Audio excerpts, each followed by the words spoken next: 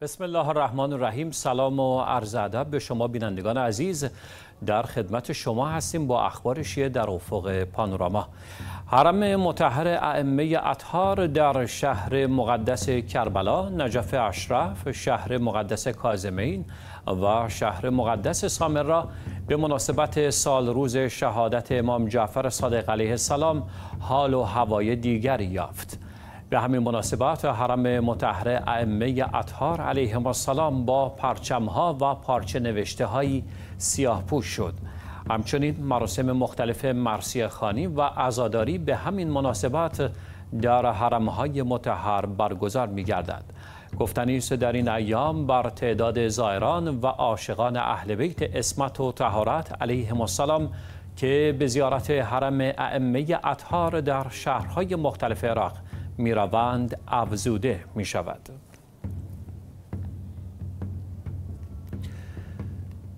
جمع کثیری از عاشقان و دلسوختگان خاندان اسمت و تهارت علیهم السلام با اجتماع در فاطمیه صاحب الزمان عجل تعالی فرجه شریف در شهر مقدس قم در سوگ ششمین پیشوای شیعیان اشک ماتم ریختند این دسته عزاداری روز شنبه همزمان با شهادت جانسوز امام جعفر صادق علیه السلام با حضور آیت الله العظما شیخ حسین وحید خراسانی از مراجع تقلید در شهر مقدس قم برپا شد. امام جعفر صادق علیه السلام ششمین پیشوای شیعیان در 17 ربیع الاول سال 83 هجری قمری در مدینه منوره متولد شدند.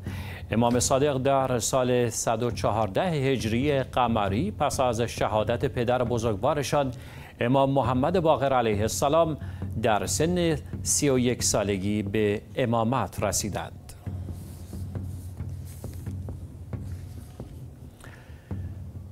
خبری در رابطه با آزادی مطبوعات آنتونیو گوترش دبیر کل سازمان ملل متحد با انتشار پیامی ویدیویی به مناسبت فرارسیدن سه می روز جهانی آزادی مطبوعات گفت خبرنگاران در حین انجام وظایف خود جان خود را به خطر می اندازم و از تعداد خبرنگارانی که توسط ارتش اسرائیل در غزه کشته شده اند وحشت زده شده است. گوترش با اشاره به اینکه جهان در حال گذر از یک فاجعه منطقی بی سابقه است. گفت این موضوع هم نسل فعلی و هم نسلهای آینده را تهدید می کند. گوترش با بیان اینکه اصحاب مطبوعات وظیفه دارند مردم را از این وضعیت آگاه می کنند گفت عجیب نیست که برخی افراد قدرتمند شرکتها و نهادها تمام تلاش خود را برای جلوگیری از خبرنگاران منطقی به کار می‌گیرند. وی با تاکید بر اینکه آزادی مطبوعات در خطر محاصره است خاطر نشان کرد بسیاری از خبرنگاران محیط زیست کشته شدند و جنایتکاران مجازات نشدند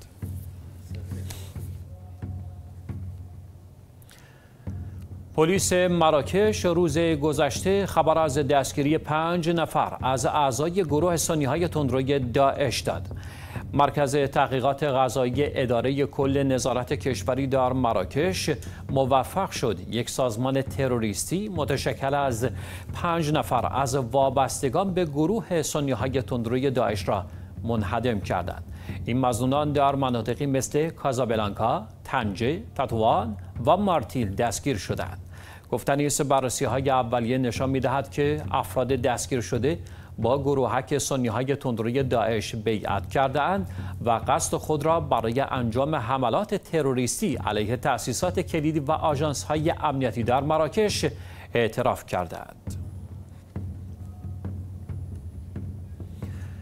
خبری از اوضاع بحرانی در کشور سودان. کمیساریای عالی پناهندگان سازمان ملل و آژانس پناهندگان سازمان ملل نگرانی خود را از خشونت انسانی در بسیاری از مناطق سودان ابراز داشتند. گفتنی است بیش از یک سال از آغاز جنگ در سودان میگذرد اما برای اولین بار می باشد که یک تیم متشکل از کمیساریای عالی پناهندگان سازمان ملل متحد به همراه کمیسر سودان برای پناهندگان و آژانس کمک های ملی به خارتوم آمدند تا از نزدیک شاهد نیازهای مردم در این کشور باشند در همین راستا کمیساریای عالی پناهندگان سازمان ملل خواستار برقراری امنیت برای غیر نظامیان دسترسی ایمن آژانس های کمک رسانی به مناطق مختلف سودان و توقف خشونت شد. لازم به ذکر است تا کنون تنها ده درصد از دو و شش دهم میلیارد دلار مورد نیاز برای کمک های بشردوستانه در سودان که قرار است به 18 میلیون نفر برسد جمع شده است که این میزان برای اقدامات بشردوستانه در این کشور جنگ زده با حجم بالای آواره و پناهنده بسیار ناکافی است.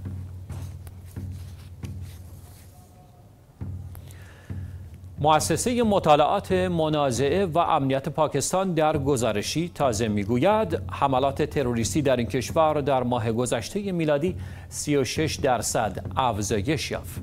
این نهاد گفته در ماه مارس 56 حمله مسلحانه در پاکستان صورت گرفته اما این کشور در ماه آوریل شاهد 77 حمله تروریستی بود.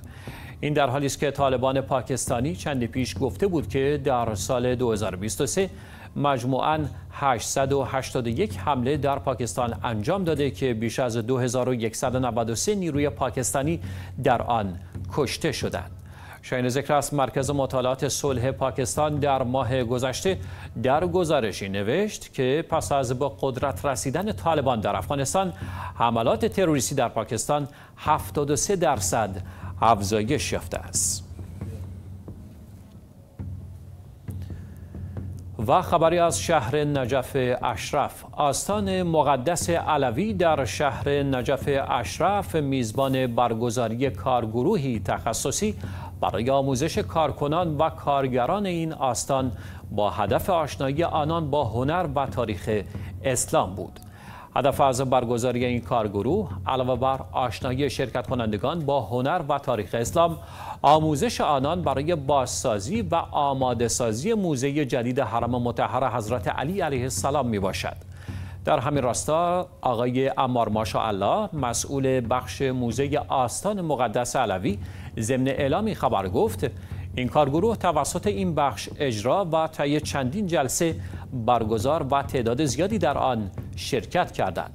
گفتنی است محل برگزاری این کارگروه صحن متحر حضرت زهرا سلام الله علیها در کنار حرم متحر حضرت علی علیه السلام بود. شاین ذکر است اساتید متخصص مسئولیت برگزاری این کارگروه را بر عهده داشتند. یونسکو نهاد امور فرهنگی سازمان ملل در گزارشی از افزایش خشونت و تهدید علیه خبرنگاران و روزنامه‌نگاران امور محیط زیست هم از طرف بخش عمومی و هم از بخش دولتی خبر داد. طبق گزارش آژانس امور آموزشی، علمی و فرهنگی سازمان ملل که روز پنج شنبه 13 اردیبهشت منتشر شد، در فاصله سالهای 2009 تا 2023 دست کم چهل روزنامه نگار محیط زیست به قتل رسیدند. از چهل و چهار روزنامه نگار و خبرنگاری که هین پوشش اخبار مسائل محیط زیستی به قتل رسیدند تنها پنج پرونده به محکومیت عاملان قتل منجر شده است. تنها در پنج سال گذشته 305 حمله به این خبرنگاران گزارش شده است. آنطور که در این گزارش آمده است خبرنگاران مرد به طور کلی بیشتر هدف حمله فیزیکی قرار گرفتن و خبرنگاران زن غالبا در فضای مجازی هدف حمله بودند.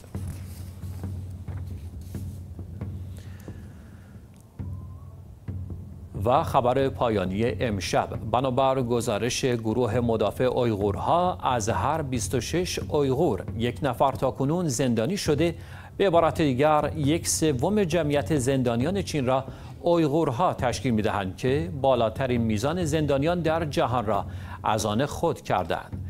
این گروه همچنین اظهار داشتند اویغورها و سایر اقوام ترک در چین از هر صد هزار نفر حدود 3814 نفر زندانی می شوند که این آمار 47 برابر بیشتر از نرخ کلی 80 نفر در صد هزار نفر در چین است. گفتنی است یکی از برجسته ترین اویغورهای زندانی راهیل داوود کارشناس اقلیم شناسی و قومنگار اویغور است که در دسامبر 2018 به اتهام تفرقه پراکنی به حبس ابد محکوم شد. وزارت امور خارجه ایالات متحده گفته است که داوود و دیگر روشنفکران اویغور به دلیل فعالیت خود برای حفاظت از فرهنگ و سنت‌های اویغور به طور ناعادلانه زندانی شدهاند.